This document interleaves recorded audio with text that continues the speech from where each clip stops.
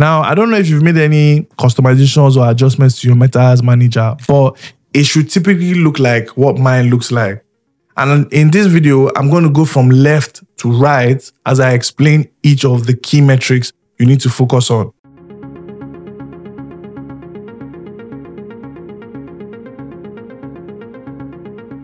So the first one is delivery. Delivery just talks about what's going on with that particular ad. Is the ad off? Is it complete? Is it in draft? Are there errors? Now, if there are errors with the ad, the good thing is nowadays Meta will tell you what those errors are, or it will point you towards where to go and find this um, error. So, for example, is the error in the ad set itself, or is it in the ad? Another one is learning limited. Now, when it comes to learning limited, it could be one of two things. Actually, it could be more than two things, but typically it's one of two things. Either you did not perform what they call a conversion action within the time frame given, or your budget is too low. Next up is the amount spent. Now, this could be in naira, dollar, pound, whichever it might be. So I actually, across my Meta Ads managers, some of them are in dollar, some of them are in pound, some of them are in naira. Next up is budget, which is pretty much how much you spend daily or lifetime in your Meta Ads manager. Now, with the budget, you can actually set it at a campaign level or you can set it at an ad set level. Most times, people set it as an ad set. Depending on the kind of business you run and the kind of ads you are testing, you can actually set it up at a campaign level. Most times, businesses that set up their ads at a their budget at a campaign level are testing out a lot of different creatives, and those creatives are mostly retargeting creatives. For ads that you are not using for your retargeting, please just set it at the ad set level. Don't complicate things for yourself. Now we move on to the interesting part impressions and cost per impressions. Now, for impressions, I want you to look to imagine a billboard, right? You're in a car driving a billboard. Maybe you're on Third Mainland Bridge. For every time you pass that billboard, that is one impression. Now, I did not say every time you look at that billboard. What did I say? Every time you pass that billboard, that is one impression. Okay. I say this because there is another thing called reach in the ads manager. Reach is now how many times you looked at that billboard, just for context. Okay. So let's do this again. For every time you pass the billboard, that is one impression. For every time one person looks at the billboard, that is one reach. Okay. So that means you can pass that billboard 10,000 times, but you can only, you only looked at it once. So your impressions are 10,000 impressions, but your reach is just one. That means the same person can scroll past your ad on Instagram, but they only view the ad once.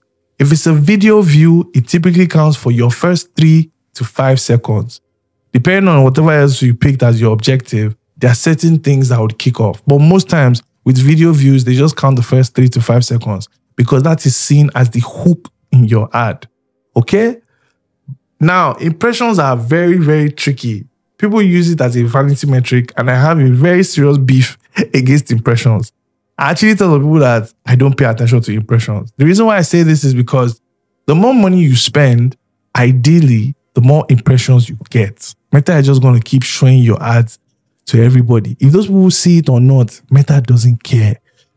So far, you kept driving around, around, around, and that billboard was there. Meta is going to collect their money. That's pretty much how impressions work. Now, cost per impressions is how many times or the cost of 1,000 people passing that billboard. That is the cost per impression. So Meta is not even, ca- they're not cashing out on how many people looked at the billboard, which is reach, right? What they are doing is they are collecting their money for how many people passed the billboard. And this is why I mentioned in another video where your video ad creative, whether you're using a video or you're using a carousel, whatever it might be, the creative, the content that people engage with is the most important thing within your ad. Okay? So that is impressions. See, I'm already getting excited. The next one is something that I also find very interesting, which is frequency. Now, frequency is pretty much how many times somebody saw your ad. Okay. So remember that billboard we were talking about? How many times did somebody see it? If impressions is somebody passing the billboard and reach is when somebody looks at the billboard, that means frequency is how many times did that person look at that billboard while they were passing it? So impressions, they are passing it. Reach is they looked at it. Frequency is how many times did they look at? See, I'm looking up as if there's a billboard there, but let's imagine there's a billboard there. Okay. So that's your frequency. When it comes to frequency, the sweet spot is between 1.4 and anything below 3, depending on your business, depending on your product, depending on your service. If your frequency is too high, go and check your targeting. Your targeting is too narrow. Next up, you have CTR in bracket all. So CTR just stands for click through rate. Now, most of the time, Meta charges you per impression. So your CTR is that billboard. Okay, how many of them clicked on the on the ad? So a click would be somebody maybe they they check the comments, maybe they liked the post, maybe they shared it with a friend, maybe they clicked on your social media page to view your profile, maybe they clicked on the shop now button. All of that is a click through rate. That is why it's called click through rate all. Next up is link clicks and cost per click in bracket all. Now, that cost per click in bracket all is very similar to the click through rate that we spoke about earlier. The only difference is the click through rate was in a percentage. This cost per click is in currency. Okay. So if you run your ads manager in dollar, naira, whatever it might be, it will be in currency. Next up, we have attribution setting. Now, for attribution setting, see, I remove my glasses. So let's say you saw an ad on Meta, right? You are scrolling on Instagram and you were like, ah, I like this bag. Click, you clicked on the bag and then you landed on the website. Okay. And then you bought that bag. Immediately you saw the bag, you bought it. Immediately. Good. That sale is attributed to the ad in the Meta Ads Manager. That is why it's called attribution setting. So it is attributed to that ad. Okay? Good. Now, if I went to that website and bought that bag, but I bought it three days later or four days later, that sale is still attributed to that ad. And the reason why it's attributed to that ad is because the attribution setting is set at a seven day window. You understand what I mean? So if somebody bought from that platform and they bought maybe, hmm, maybe they bought it nine days later or 10 days later, even though it was the ad, that my ad that they saw that made them go and buy that bag, but they bought it 10 days later, it will not count and it will not be attributed to that ad. So that's what attribution setting is. The next one is your results. Now, your result is based on the objective that you pick. So, for example, most times I pick the sales objective, which is website purchases. Okay, good. Now, when you pick website purchases, it would show you how many purchases have come during that period. That is your result. At the campaign level, when you are when you are creating a new ad, you picked an objective.